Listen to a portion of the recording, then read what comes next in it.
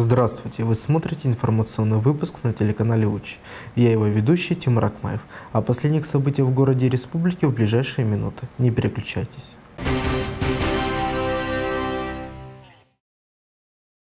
По информации Красноурской санэпидемстанции, за 17 неделю 2022 года в городе зарегистрировано 63 случая ОРВИ, в том числе у 21 ребенка.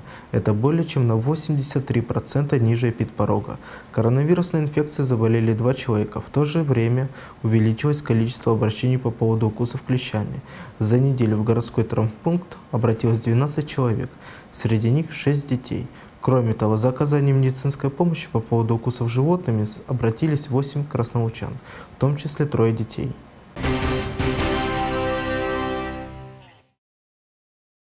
26 апреля на территории мемориального комплекса «Партизанская стоянка» студенты Красноурского строительного колледжа совместно с отделом молодежи, спорта и туризма провели подготовительные работы по благоустройству мемориала, говорится на сайте городской администрации. Ребята очистили территорию от травы и мусора, удалили осыпающуюся краску и штукатурку со звезды мемориала и могил воинов, после чего нанесли грунт – под контролем мастера производственного обучения Татьяны Вагнер оштукатуривали поверхности. На 29 апреля планируют вновь приехать и произвести окрашивание.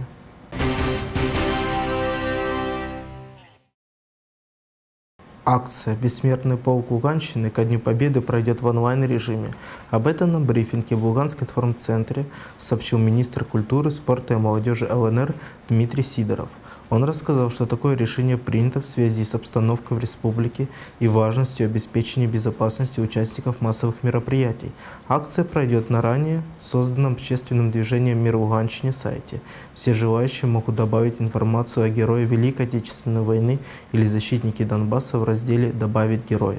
Также министр культуры проинформировал, что празднование Дня Победы в ЛНР начнется с возложения цветов к памятным местам во всех городах и районах республики. На гостелеканале «Луганск-24» и радиостанция «Вести плюс» 9 мая в прямом эфире будет идти телемарафон – Жители республики могут присылать на почту ГТРК ЛНР короткие видеоролики с историями подвигов своих родных и близких, совершенных в годы Великой Отечественной войны. Эти ролики будут транслироваться во время телерадиомарафона.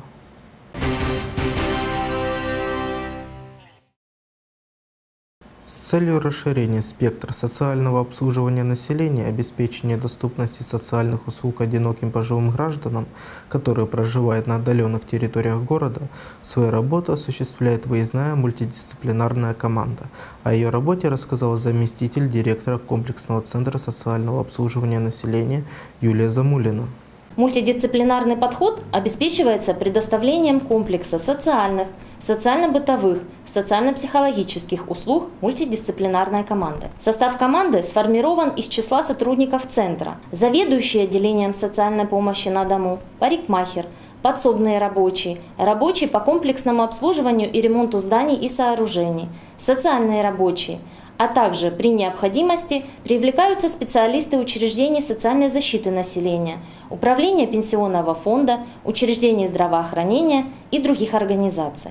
Предоставление социальных услуг мультидисциплинарной командой базируется на принципах адресности и индивидуального подхода, доступности и открытости, добровольности выбора получения или отказа от предоставления социальных услуг – гуманности, комплексности, законности, конфиденциальности и социальной справедливости. Выезд мультидисциплинарной команды осуществляется по заявкам социальных рабочих центра, которые работают на отдаленных территориях города. Согласно заявок, гражданам, которые находятся в сложных жизненных ситуациях и обслуживаются в центре, предоставляются следующие виды социально-бытовых услуг, таких как генеральная уборка жилых помещений, уборка придомовой территории, услуги парикмахера, рубка и распил дров, косметический ремонт помещения, складирование угля, обрезка деревьев, вырубка поросли, покос травы и другие услуги. В рамках реализации программы социальной поддержки граждан старшего поколения мультидисциплинарной командой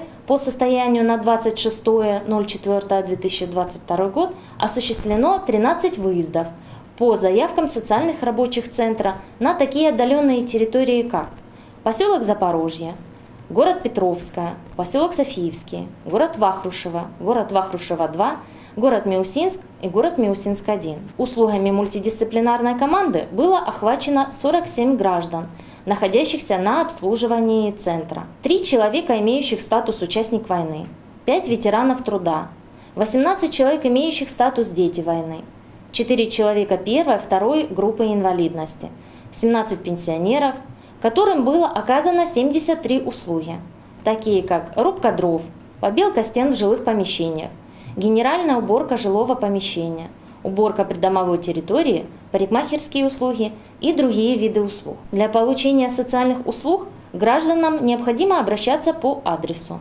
город Красный Луч, улица Проездная, дом 1 или по телефонам 20205 20709.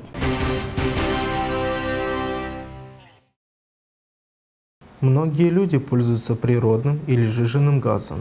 Сейчас в быту очень сложно представить повседневную жизнь без этих энергоресурсов. Но в то же время это пожароопасное взрывчатое вещество, которое при небезопасном использовании может нанести колоссальный вред вам и вашему имуществу. Красноурский ГПСО МЧС ЛНР напоминает о соблюдении правил при использовании бытовыми газовыми устройствами.